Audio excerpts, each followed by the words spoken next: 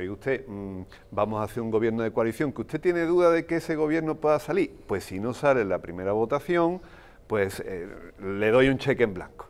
me parece una jugada interesante. Ya ha salido Aitor el detractor diciendo que no hay ningún tipo de problema, que si se está de acuerdo en el programa están dispuestos a apoyar ese gobierno. Ya sabremos cuál es el programa de los nacionalistas vascos. Menos Estado español y pasta. Ya les han entregado Navarra, con lo cual ya está. Pero eufemismo, ¿no? Si estamos de acuerdo en el programa, no. Si usted está de acuerdo en que haya menos España en el País Vasco y en recibir más dinero, ¿no?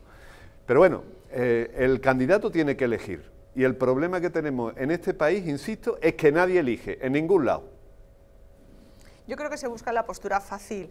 Eh,